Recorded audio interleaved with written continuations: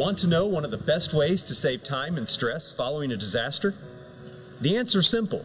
Let's build a home inventory.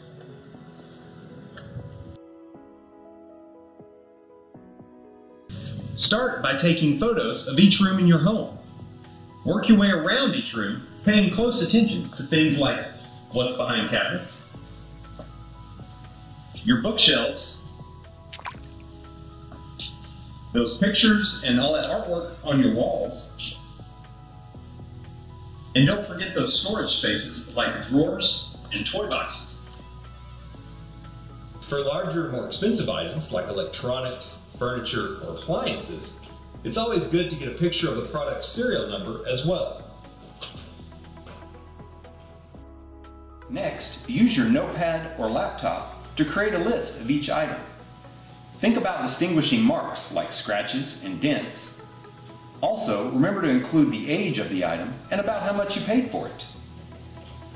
Try to group some similar items together. For example, lay out your jewelry and take a couple of shots.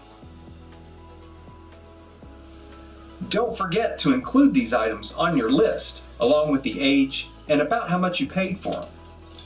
Now, if you have receipts or appraisals, it's a good idea to take photos of those as well.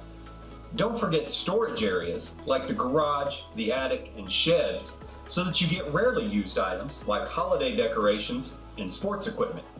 A home inventory is an extremely useful tool because it will save you time, money, and stress after disaster strikes. Just imagine trying to remember all of your belongings if it's gone in an instant. Finally, a home inventory can help you determine how much insurance you need. But this only works if you do it before disaster strikes. So build your home inventory today.